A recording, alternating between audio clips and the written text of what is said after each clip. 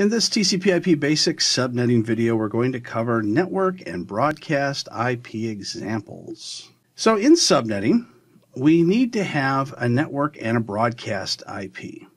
So the network side basically segments the network from other networks, whereas the broadcast is used for finding other computers. So let's talk about that in a little bit more detail. So have you ever shared a, a network printer? You can have a real problem when there's many different people need to send print jobs to this printer all at once. So how do you separate jobs from each other? Well, you could use what's called a blank separator page as an option in the printer setup. And this puts a blank page between each job. It makes it a lot easier to figure out whose job is which when you have a separator page. Well, the network address can be used in the same way. Think of it as your separator page when you have many subnets that all start with the same starting octets. By adding this separation, you can see when it's local to you or when it's remote in another network. If it's remote, then it's going to require a router for you to get from your local network to the remote one.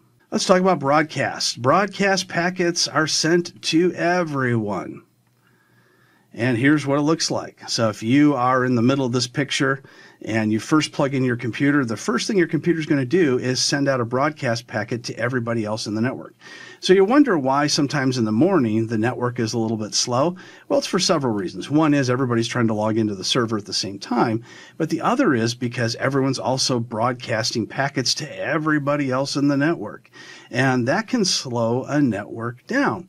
So uh, the switch that we use, that all of the computers are connected to, what it will do is it will memorize the location of all of these different computers. So that's why it's only slow typically in the morning because after all the computers have found out where everybody else is and the switch memorizes it, it no longer needs to have broadcast packets sent everywhere because the switch will block that and will say, hey, I already know where that computer is. You don't need to send a broadcast packet anywhere. The broadcast IP address is always the last IP address in any subnet, and the network IP address is always the first IP. Network and broadcast IP addresses are a necessary part of any subnet in an IP network.